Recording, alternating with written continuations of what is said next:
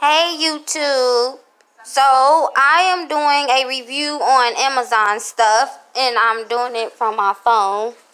So I just got for first time moms, I got this. Like I said, I'm not a first time mom. This is my third baby.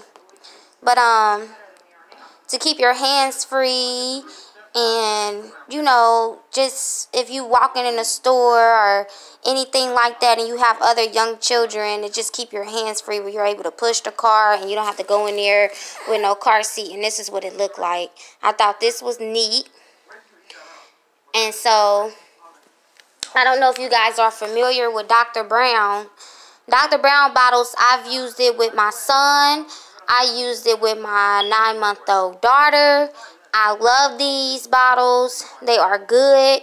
None of my kids have had any problems with these issues or nothing like that. So this is for my new baby.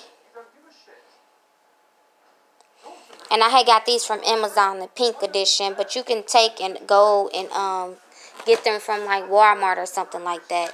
I absolutely love this diaper bag. Oh my goodness. It's so big. It has a lot of space in it. I'm going to pause the video so I can open it up so you guys can see as much space as it is in this. Okay, I'm back. This is the inside of this uh, diaper bag. I love this diaper bag.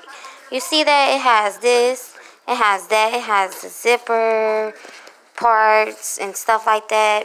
Also, it has where you can zip it up from the back. That's what I like. So say you need to hurry up and get something, you're not able to get it. Um, hold on. Sorry. You can do that and get to whatever you need to get to. And then on top of that, I love the front part. Put that back in there. And then I got a brand new bathroom set from Amazon. Love it. I have not yet put it up yet, but when I do, I am going to make a part two. It's going to be very quick, very short, just showing y'all how it looks in my bathroom. So this is just a pre. That's the shower curtains. It comes with a shower, three shower rings. Um,